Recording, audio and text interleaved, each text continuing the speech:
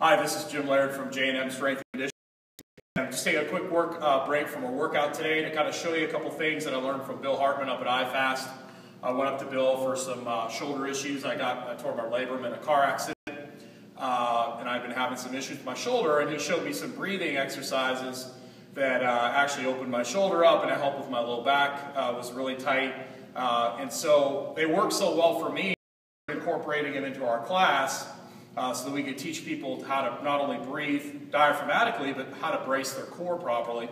And uh, I'm just going to show you a couple things here. This is G. When you first start doing this with, uh, with people, uh, they're going to look at you like you're weird and crazy and silly. Uh, but if you stick with it and you consistently do it, they will come back to you and go, aha, I got it. I've learned how to turn my core on and it makes everything so much easier. Or they're like, oh, my back's feeling better etc., etc. So you got to just kind of roll through the tinfoil hat stage. So G, this is one of the G, one of my baseball guys that I've been working with for a while. And you notice how G's set up, 90 degree angle, nice neutral, uh, spine, heads back. He's got his fingers set up, his thumbs are in his low back, his fingers are on the side, and we're doing that to test and make sure we're getting what we want. We want what's called circumferential expansion. We want 360 expansion.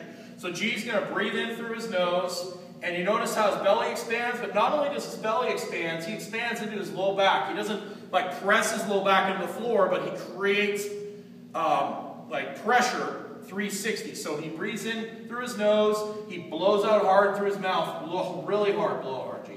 Make sound. There you go. Blow out, breathe in, blow out. Make sound. There you go. And we usually do about 20 of these breaths. If you notice G's doing a really good job here, he's really good at breathing through his belly.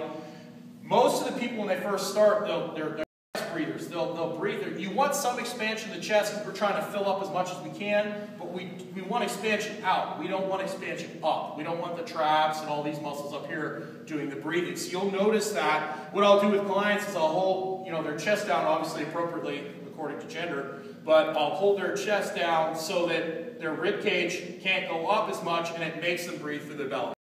So we usually have people do about 20 breaths. And then we have to spin around and we do this ab exercise that Bill showed me to help me uh, learn how to brace 360. That was a mistake I was making with my lifting because I was pushing out into the front of the belt too much. So we've got a nice neutral spine and what we want is G to breathe in big and then we want to blow out and as soon as his hard blow out, as soon as his rib cage goes down, we brace hard. 360 brace. He's creating, pushing out on my hands. I tell people I should be able to stand on their belly they're so tight. He's creating pressure through there, and then he's going to create distraction, and he's going to keep that pressure with distraction by moving his feet. And it's a really good way to practice. And I could test and I could see that he's got pressure. but we, we usually have him do it for 10 or 15 seconds. This teaches them to create pressure while they're shallow breathing. So he lets it out. He's ready to go for another 10. He takes a big breath. He blows it out. He creates pressure, and he's just practicing turning that core on. And basically what happens is people learn how to brace, and it carries over to their swings. It carries over their lunges. They're able to keep their pelvis neutral for squats, and everything just works so much better. So this has worked great for us. Give it a try. It's really simple. It takes like two minutes at the beginning of class. We do it after foam rolling. Thanks.